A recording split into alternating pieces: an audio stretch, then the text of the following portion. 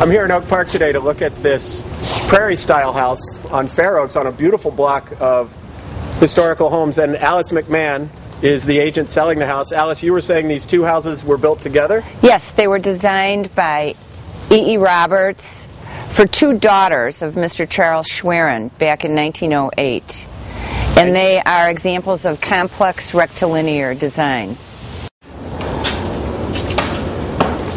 Now, this porch you say was a screen porch originally? Originally, it was a screen porch, and about uh, 2000, it was enclosed, and these windows were custom built.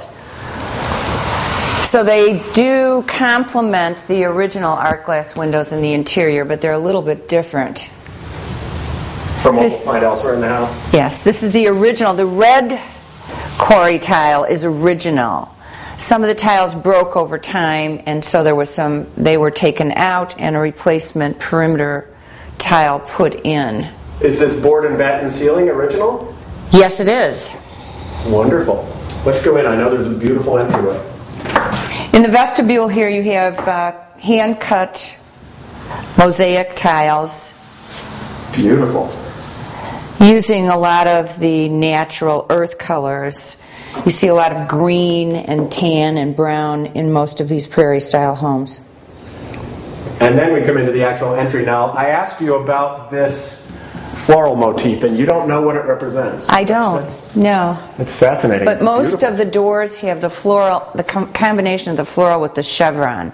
Again, you see the rep- repetition of the complex rectilinear and a lot of the geometric design, which is very typical of the prairie homes. There's a lot more detail in this house than you see in many of the other houses. This there's also a lot more room in this entry than in many. This is a fantastic entry. In addition to that, the doors for both the music room and the library can be closed. And of course, originally, people would drape off their formal living room. So this actually became another room because you can close off the back hall as well. Sure. Now back to these doors. These are terrific, and these were. I think you told me they were original. You found them in the basement. Not these, the ones that are in the dining room, but these are original. And of course, there's another one here. So these were in place. These were in place, They've yes. never been removed. Correct. And look at the condition. How did they manage to stay in this kind of condition? Well, it takes maintenance.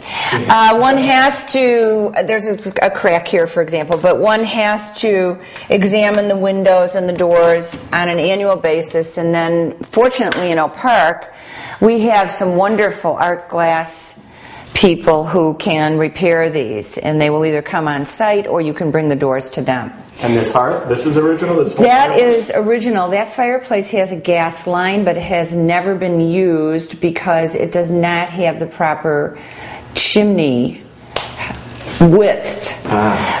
However, it could probably be a ventless gas fireplace, which they now have. So this is another thing. I guess the idea behind all this was that each room could sort of be its own little space because they have the openings, but these wonderful doors, but you don't you lose the idea of moving that way because they're Yeah. because of the glass. Wow, they make a beautiful curtain. Aren't they wonderful?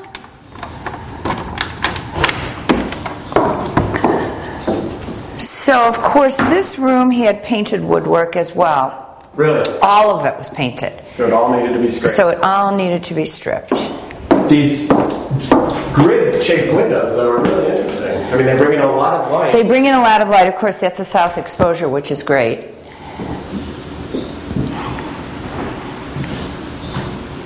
and then more. Uh, these, this is just amazing.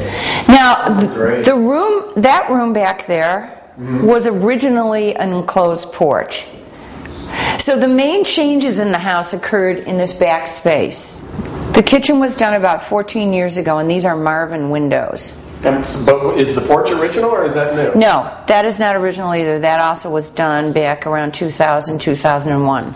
Nice big space. But you were telling me about this garage. Because both this house and the house to the south were built for two sisters, they had a carriage drive that came from the street between the two homes, for the carriages to go into the garage, which is still one building. There is That a structure is wall. One building. It's got green trim on one side, brown on the other, but it's one structure. Yes, there is a wall that separates the two sections, and there's attic storage. As I said, this was an enclosed porch. There was a powder room here.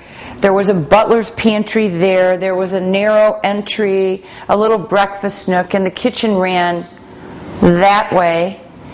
When it was redesigned, the powder room was moved over to there.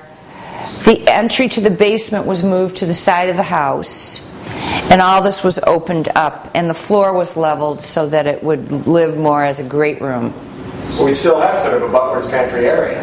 We do, This is very because this was a stucco wall, because that was a porch. Oh, So keeping this was kind of important.